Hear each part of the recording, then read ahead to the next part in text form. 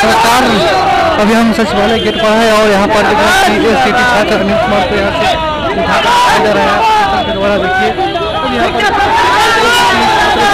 कुमार को भी हटाया जा रहा है। यहाँ से अभी आपको तस्वीर दिखा रहे हैं।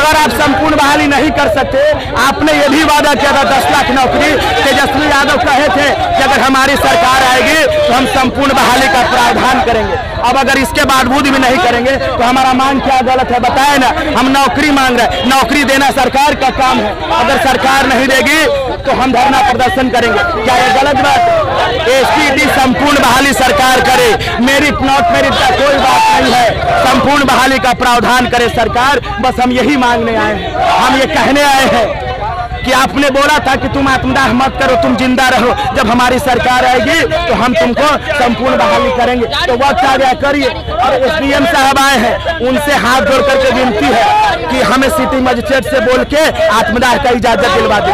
अगर न्याय नहीं मिल सकता है धरती पर तो नहीं रहना इस धरती पर हमें बस। हम यही कहने आए हैं।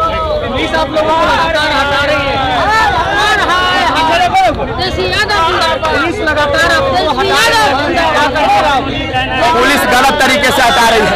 हम हम लोग हम लोग लोकतंत्र के मानने वाले लोग हैं और हम लोग शांति प्रिय लोग हैं। हम लोग गलत क्या कर रहे हैं? ये बताए। हम लोग गलत क्या बोल रहे हैं?